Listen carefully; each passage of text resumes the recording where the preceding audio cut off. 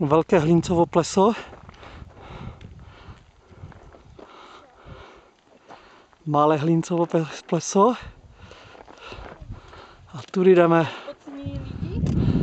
tudy jdeme nahoru do sedla pod Koprovským štítou a na Koprovský štít.